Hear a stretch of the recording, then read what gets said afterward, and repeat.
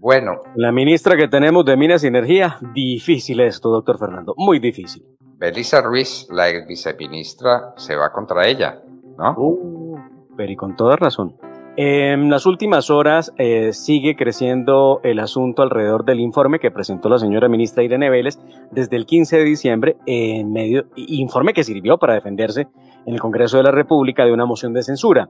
Informe que hasta ese momento nadie había entendido cuál había sido la precisión técnica que tenía. Pasaron los, los días, llegaron ellos a Suiza, al foro de Davos, foro económico, y allí Irene Vélez hizo nuevamente presentación del mismo informe. Pues una vez conocido el informe, le han preguntado a los que firman el informe si estuvieron de acuerdo y si ese informe corresponde a la realidad. Con la noticia de que hay un técnico que ya no está en el Ministerio de Minas, que lo sacaron, no sé por qué razón, lo sacaron, pero aparece en el informe, y está Belisa Ruiz, a que también echaron, pero que el presidente Petro no ha querido firmar la carta de renuncia. Me dicen que es una carta, doctor Fernando, de más de 25 páginas, donde ella justifica su renuncia. Pero Belisa Ruiz ha venido hablando y le preguntaron por el informe en la revista Cambio, le preguntaron, bueno, ¿y ese informe qué? ¿Usted cree que la ministra faltó a la verdad? Y esto fue lo que ella respondió en las últimas horas. Vamos a, desagregar la pregunta.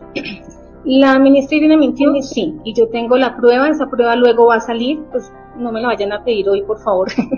luego la presentaré. Sí mintió, porque eh, la dirección de hidrocarburos, que pertenece a mi despacho, bueno, perdón que hable en presente, que dependía o que depende del despacho que yo tenía, exacto, ya no es mi despacho, eh, en una comunicación de WhatsApp le, le, manifestó los problemas del documento y al final le dice, por favor, o, o algo así, no sé si por favor no metamos el tema de reservas porque nos vamos a meter en problemas.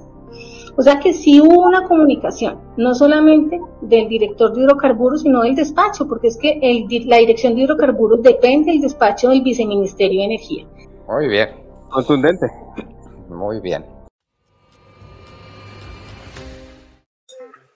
Ante las declaraciones de la viceministra de Minas, Belisa, es preocupante cuando ella manifiesta que la ministra Irene ha incurrido en presuntas irregularidades por falsedad en documento público, además interviniendo en la elección de miembros de junta que no cumplen con los requisitos constitucionales y legales. Si la ministra Irene no renuncia, voy a impulsar nuevamente en el Congreso de la República moción de censura y además vamos a presentar denuncia por presunta falsedad en documento público y su plantación.